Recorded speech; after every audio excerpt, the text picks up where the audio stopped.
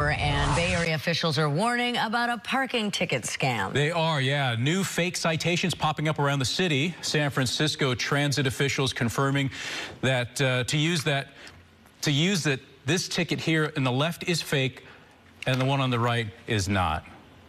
Okay, so the right is real with you can see the SFMTA and the logo.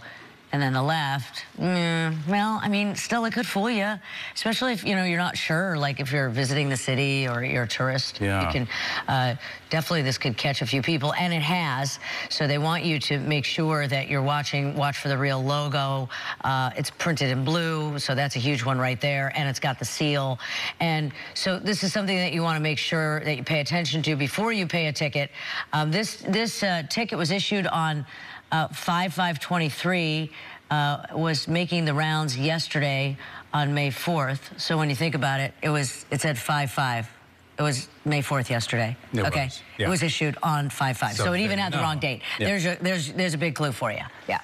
All right, moving on down to the bottom, you can see if uh, you do not end uh, paying this ticket, fake ticket could cost you less than a parking ticket in San Francisco. The scammer here is charging just $6 while most parking tickets are around 80 $6 instead of 60 so right. $86. Another clue, a yes. deal too good to be true. Yeah. Right, funny.